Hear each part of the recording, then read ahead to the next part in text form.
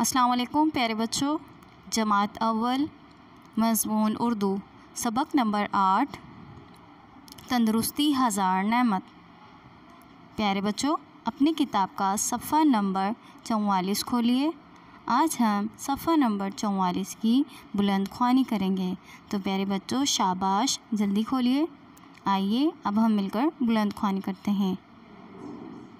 Jain, school में पढ़ता है। वो सात साल का बच्चा है।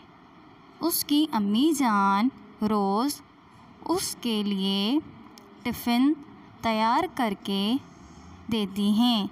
जैन एक अच्छा बच्चा है।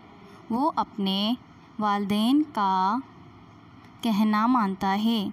उसकी जमात के बहुत सारे बच्चे स्कूल से छुट्टी के बाद सड़क के किनारे खड़े ख्वांचा फरोशों से चीज़ें ख़रीद कर खाते हैं। नासिर भी उन बच्चों में से एक है। वो जैन का दोस्त है। आज दो रोज़ हो गए। नासिर स्कूल नहीं आया। मास्टर साहब ने बताया कि वो बीमार है।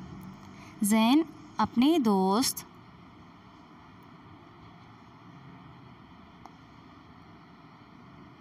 नासिर की बीमारी का सुनकर परेशान हो गया।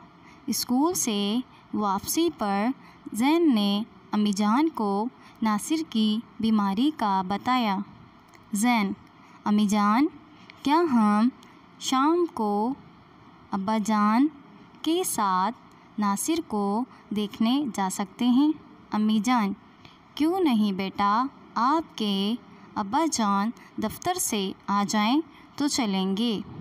शाम को जैन अपने वालदेन के साथ नासिर की खैरियत मालूम करने उसके घर चला गया। प्यारे बच्चों, अब हम दिए गए अल्फाज पढ़ते हैं, ठीक है?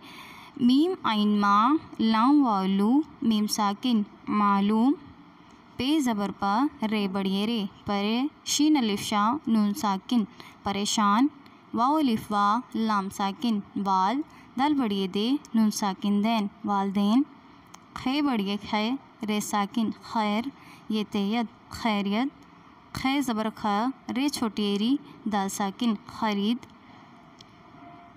प्यारे बच्चों, उम्मीद करती हूँ आपने सबक को अच्छे से सुना होगा और लफ्ज़ों को भी पढ़ा होगा। प्यारे बच्चों, इसी के साथ आपको एक छोटा सा असाइनमेंट दिया जा रहा है, जो कि आप घर पर बैठ कर, ठीक है? दिल लगा कर करें, लफ्ज़ों को तोड़ें, जोड़ें, ठीक है? खुशखती करें। इसी के साथ इजाज़त चाहूँगी। अल्लाह हाफिज़। शुक्रिया।